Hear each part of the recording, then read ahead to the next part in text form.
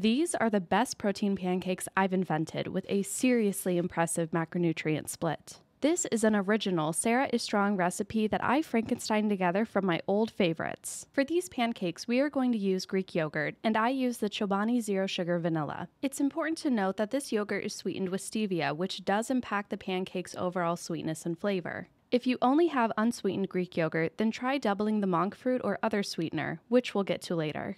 We'll also need one egg, oats, vanilla, almond flour, coconut flour, baking powder, cinnamon, egg whites, monk fruit sweetener, and cottage cheese. I'm beginning with 100 grams of liquid egg whites. Next, I add my one whole egg, then 80 grams of artificially sweetened vanilla Greek yogurt. Here is the cottage cheese that I forgot to put out for the first shot. We're using 80 grams of this as well. Oats are next at 20 grams, then 15 grams each of almond flour and coconut flour.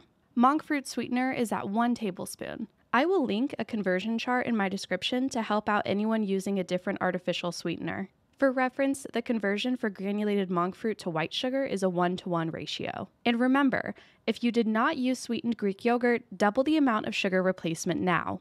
I used a half teaspoon of baking powder, a splash of vanilla, and a light sprinkle of cinnamon. I'm using my Ninja NutriBullet to blend the ingredients. After drizzling avocado oil onto the pan on low medium heat, I'm adding my first batch of pancakes. It's been approximately 5 minutes by the time I start to flip, but this time will change based on many variables, so flip once you can easily slide the spatula underneath without dragging and tearing the pancakes. It's better to flip them back over later to cook longer if needed than to risk burning them. And please pardon the lopsided burner. It used to fit fine when we moved in, but after the first time I cleaned the burner bowls, I could never get it to align properly again. It helps with the camera angle, but hurts my cooking. After I put the second batch of batter onto the skillet, I checked in with Bunny. If I don't keep her content, she jumps on the counter to get my attention. This second batch is looking absolutely gorgeous. Then, straight back to my squiggly bunny. I saw a funny post once about homemade or made with love, meaning I licked the spoon but kept using it, and I think that should be applicable to air contaminated with floating cat hairs in my kitchen. The final batch was a little shy of two full pancakes, plus a little Barbie doll sized pancake.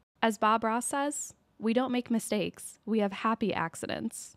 After a downpour of sugar free syrup, these bad boys are ready to eat. Oh my gosh, it smells so good.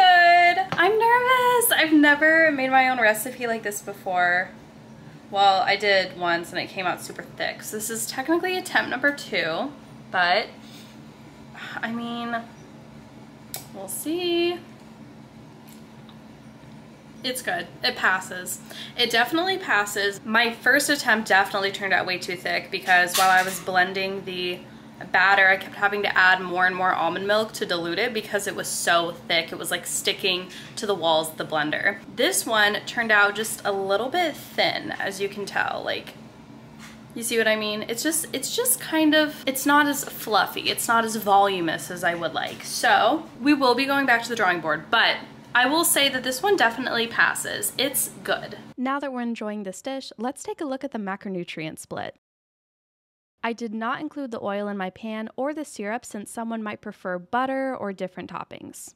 Furthermore, different brands or fat percentages in the dairy ingredients could result in a slightly different macronutrient split. This is especially true if you use vegan replacements. So the pancakes alone, exactly as I made them today, are impressively balanced. Total calories for this entire stack is 447. 18 grams of fat constitutes 36% of these calories.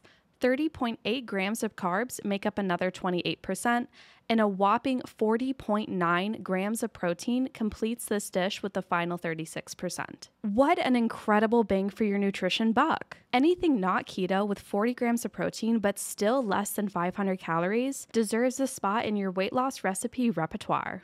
If you end up trying this recipe, please let me know how it goes. And I will mention, I'm not the best resource for cooking questions or how to substitute ingredients, so you may have to rely on old trusted google.com for those answers. And if somehow you haven't already, please consider leaving a like on this video and clicking that tempting subscribe button. Thanks for watching!